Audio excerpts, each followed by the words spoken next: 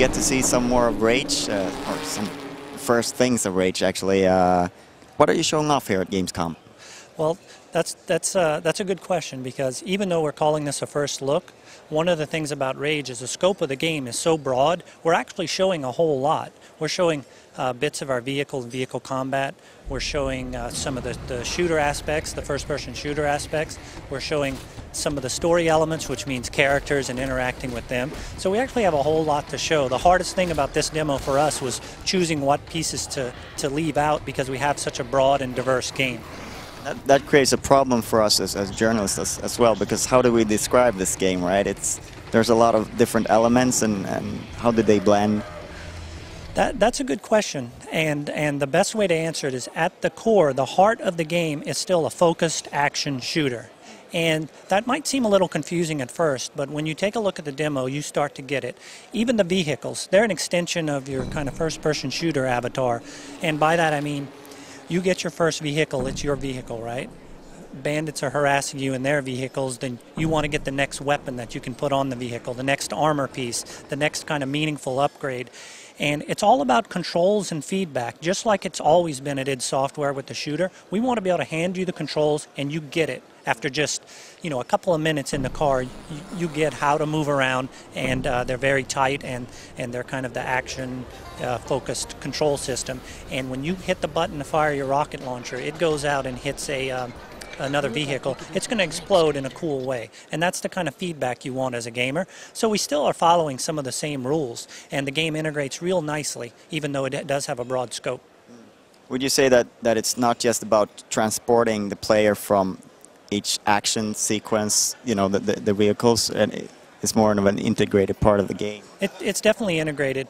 Uh, we were really careful when we were laying out the world. We wanted this larger world more believable. We wanted to stay away from, in the past we would have called it level, airlock, level, airlock. We wanted to get away from that. Now we just have these cool locations that, that are all spread out through our, our kind of larger environment. And when you're going from one shooter environment across a wasteland to another one, you need something cool and fun to do in between. And that's why we introduced the vehicles. We thought there were a way to take you know, classic kind of vehicles, but um, take them in a direction that fit with a shooter, and that's what we try to do. And it, it, it really helps weave the world together and make it much more believable.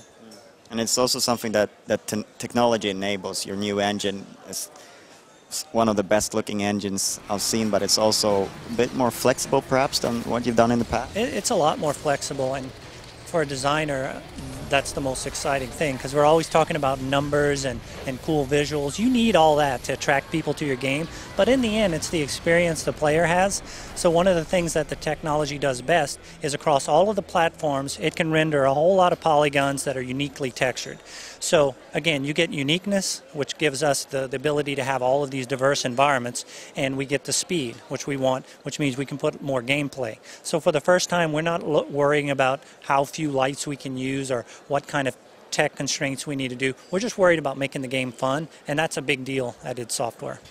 There was some confusion, uh, I guess, a week ago or something about the Xbox 360 version, whether it would be better or worse. Or could you just clear clear that issue up? We, we get that all the time. People want, especially if you're a fan of one of the consoles, maybe you only have one, you want to make sure yours has the, the best.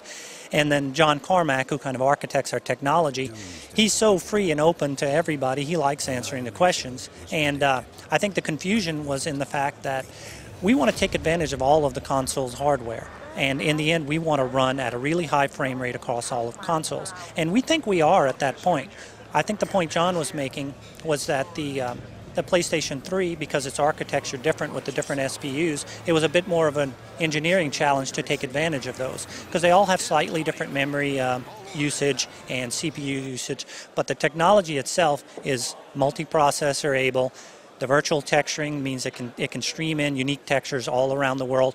All of that is set up and working really well, and we have consistent frame rates across all of the consoles. So in the end, gamers shouldn't have to worry about any of that. They get the game on any of the platforms, and it'll run great.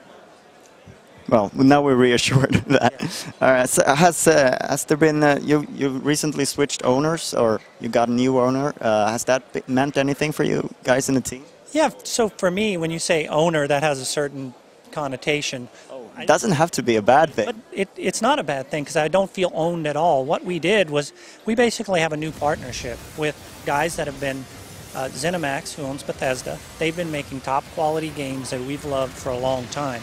So when the, the owners of id, um, you know, when, when they were first proposed this this new merger, uh, it seemed to make sense. Here's guys that make these games, and they're the best games that, you know, everybody loves these games. And here's id that's been doing things well for a long time. But now we have all of these combined resources to take advantage of. So it's actually going to give us even more freedom. In the end, you want the best games possible, and that's what this allows us to do. Okay, I think uh, they probably want you to leave now, but thank you very much for your time. No problem.